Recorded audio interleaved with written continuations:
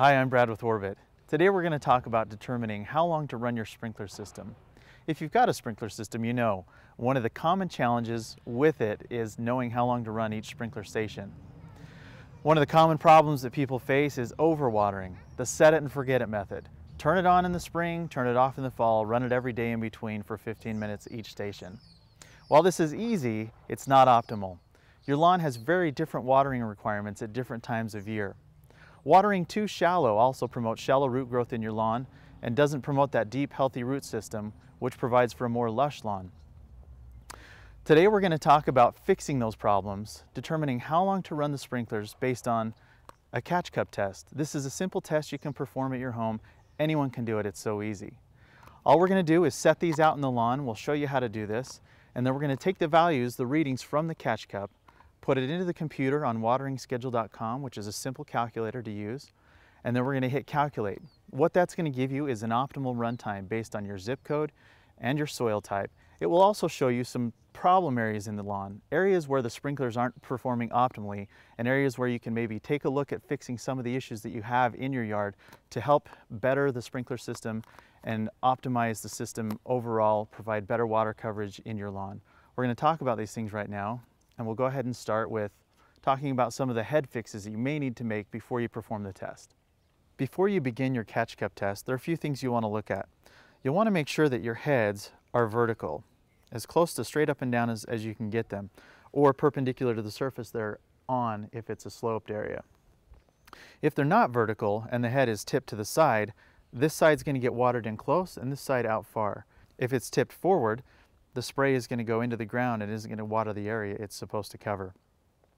If you've got grass growing around the head that's preventing the spray from getting out of the nozzle, you'll want to remove that grass as well and make sure that the spray is unobstructed.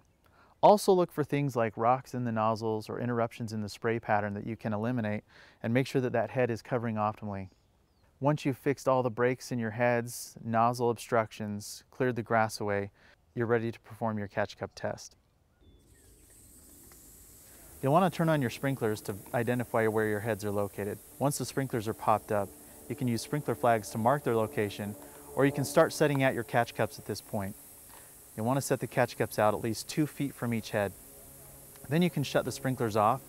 Assembly of the stakes is very easy. Simply insert the tapered end into the stake and the stake is complete. Then you can insert your catch cup into the holder. These are the measurements on the catch cup. The lines correspond with the number on the right side. Those numbers are measurements in milliliters.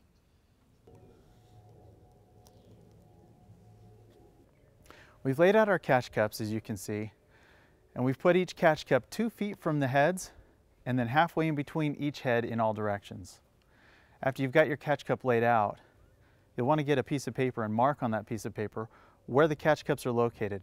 When you go back through and check the volume of water in each cup, you can then write it next to the location on the piece of paper.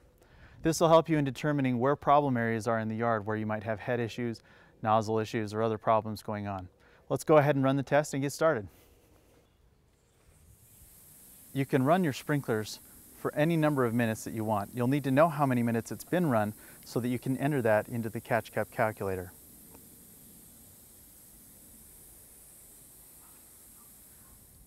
I went ahead and made a rough outline of the area we just watered. I marked the sprinkler heads with these circles and I'm going to mark the catch cups with an X at each catch cup location. After you've marked all the catch cups on your rough sketch, you'll want to go and measure all of the water in the catch cups. It's helpful to have a second person with you at this point. One to read the catch cup data, one to write it down on the paper. Each line on our catch cup represents 5 milliliters. In this case, we've got approximately between 60 and 65 milliliters. We'll mark that down as 63 on our paper. After you've recorded your catch cup, I go ahead and dump the water out so I don't record it a second time. After you've recorded the catch cup data on your sheet of paper, go to wateringschedule.com to enter the numbers you wrote down. Once you're on wateringschedule.com, click the Enter Results button. After you've clicked the Enter Results button, this is where you'll enter your zip code,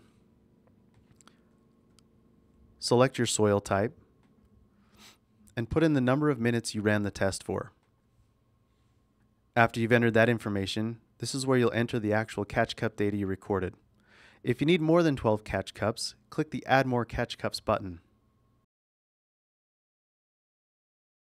If you ran the test for multiple stations, at this point you can click Save and Next Station to enter the results from additional stations. If you don't have any additional stations to enter, hit the Calculate button to get the results. Here are the results from the data you entered.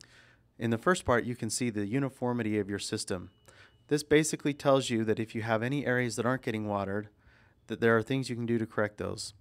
For more information on how to improve the uniformity of your system, click the button under the Save More Water tab to the right. After your sprinkler efficiency is step one under your recommended sprinkler timer settings.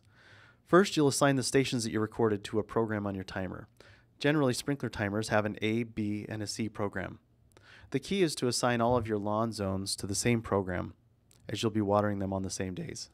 Step two is the number of start times that the tool recommends. In this example, we have two recommended start times. This means that you will run all the stations two times. The delay in between start times is recommended to be at least 30 minutes. This is to allow time for the soil to absorb the water and not run off. In step three, you'll see the runtime for the stations that you've entered. In this example, we just have one station and a recommended runtime of 8 minutes.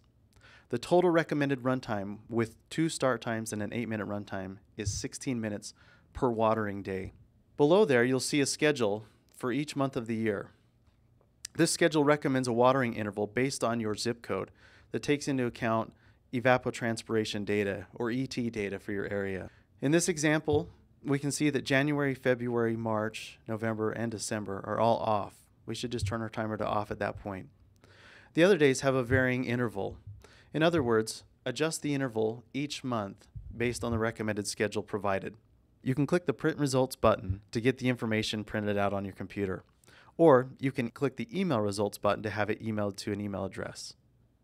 If you have any further questions about programming your sprinkler timer, you can click the Timer Manuals button up top. This has manuals for Orbit timers listed. If you have another manufacturer's timer, go to their website to find the appropriate manual for your timer. If you don't have the catch cups yet, you can click the Buy Now button to purchase them. The Orbit Catch Cups, along with WateringSchedule.com, are the perfect combination to help you save water, money, and have a greener lawn. For more tips, tricks, and informational videos, please visit us at orbitonline.com.